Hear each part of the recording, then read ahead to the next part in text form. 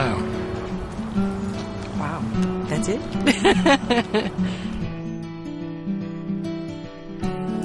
it's got purples and greens and blues. Looks like something out of Star Trek. It looks very complicated. Am I going to break it? It looks like a little solar panel. It's like a little world in a piece of glass. Look how tiny that is. It looks like a mirror. it's beautiful. What is it? So this is what is this is what makes my computer tick. This is what makes it all happen. This little thing. This is so tiny. Stuff like this just boggles my mind. It's amazing.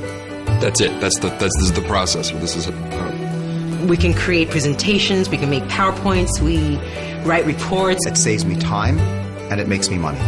And what more can you ask? I mean, if it wasn't for this, I wouldn't have a job.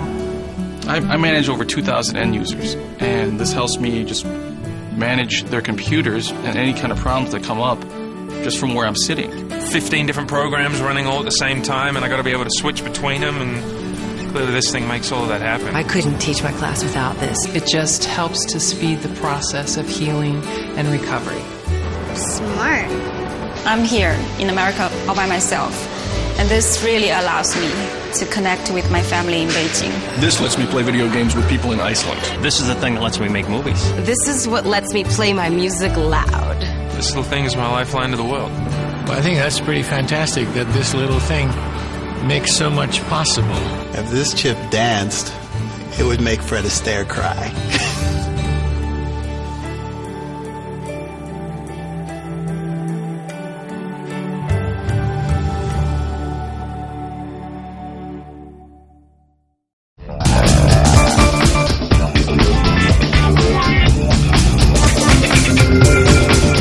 Multiply your dreams. Multiply your computing power. Multiply your possibilities.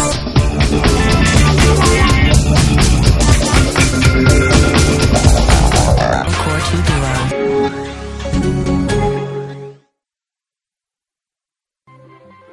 Sounds like it's graduation day at the factory. Hear the pride and joy that comes with giving notebooks, twice the performance, and amazing battery life. See ya, buddy. Young graduates, reach for the sky. New Intel Centrino. Great computing starts with Intel inside.